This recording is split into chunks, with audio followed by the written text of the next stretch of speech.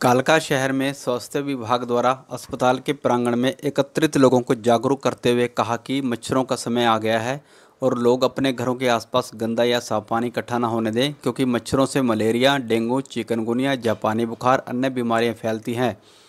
हरियाणा स्वास्थ्य विभाग के सुपरवाइजर जगत सिंह ने लोगों को कहा कि घरों के आसपास पानी खड़ा ना रहने दें, जबकि घरों में रखे पानी को ढककर रखें, क्योंकि मच्छर साफ़ पानी में भी पनपता है। स्वास्थ्य विभाग के सुपरवाइजर जगत सिंह ने लोगों को कहा कि घरों के आसपास खड़े पानी में काला तेल, ग्रीस या पुराना कोई भी तेल डालें, जिससे मच्छर पनपने से पहले ही मर जाएगा।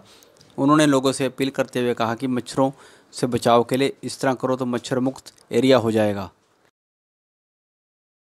मच्छर को चाहिए पानी। मच्छर पानी के ऊपर बैठ के अंडा देता है। पानी को ढक के रखोगे, मच्छर पैदा नहीं हो सकता। आज अंडा देगा तो पूरा मच्छर बनने में हफ़्ते से दस दिन लगेंगे। जब तक ये पानी में घूमता रहेगा। इसको पानी से बाहर निकाल दो, कुछ सेकंड में मर जाएगा।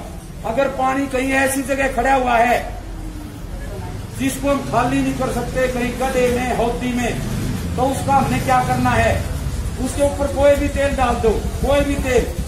डीजल पेट्रोल मिट्टी का तेल, काला तेल। काला तेल जो गाड़ियों की सर्विस कराते हो जड़ा हुआ मुगलैल होता है। तेल पानी के ऊपर ले बना लेता है, ये बार बार सांस लेने आता है, ऊपर सांस नहीं ले पाएगा। मच्छर ने पानी के ऊपर बैठ के अंडा देना है, पानी को ढक के रखोगे, मच्छर पैदा नहीं होगा, चाहे बीस साल रखो। आज अंडा देगा तो पूरा मच्छर बनने में हफ़्ते से दस दिन लगेंगे। जब तक ये पानी में घूमेगा, पानी से बाहर निकाल दो, कुछ सेकंड में मर जाएगा।